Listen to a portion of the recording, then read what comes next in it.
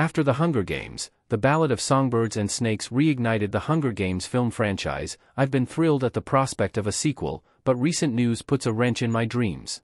As the first Hunger Games spin off, The Ballad of Songbirds and Snakes was my most highly anticipated release of 2023. Released 10 years after Mockingjay and 5 years after The Hunger Games, Mockingjay, Part 2, it hinted that the beloved franchise could make a full fledged return. However, even with a $337 million box office, my hopes for The Ballad of Songbirds and Snakes sequel may be misplaced.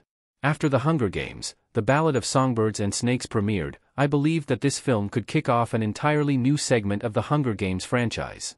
Considering how The Ballad of Songbirds and Snakes ends, with Lucy Gray's disappearance and Snow's rise to power, the sequel would have much to explore. Coriolanus' descent into evil, his effect on the Capitol, and of course, more Hunger Games would be crucial.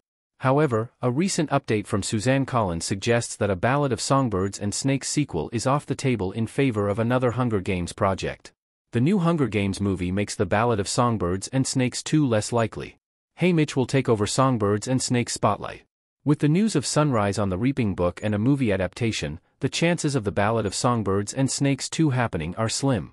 The new book will follow a younger version of the Hunger Games Haymitch as he participates in the second quarter quell, 24 years before Katniss Games. The book is already set for release on March 15, 2025, while the movie adaptation premieres on November 20, 2026. With such a solid plan already in place, I don't see how the Ballad of Songbirds and Snakes 2 could be snuck into the timeline. Unfortunately, it seems to me that Sunrise on the Reaping will take all the attention from the Ballad of Songbirds and Snakes, but it's for a good reason. Audiences have already seen Lucy Gray and Coriolanus' story on the page and the big screen. Meanwhile, Haymitch's story has been a decade in the making. The Hunger Games books provided many hints about Haymitch's time as a tribute, and now, viewers will finally get to see it go down. I believe the anticipation alone will force the Ballad of Songbirds and Snakes 2 into the back of audiences' minds. Why the Ballad of Songbirds and Snakes 2 should still happen. Lucy Gray has a compelling story left to tell. Rachel Zegler as Lucy Gray is in her rainbow dress in the Ballad of Songbirds and Snakes.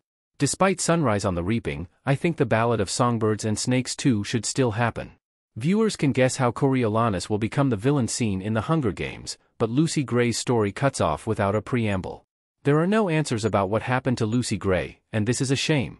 Because she's such a unique and powerful character, I think her story needs to be continued in a sequel.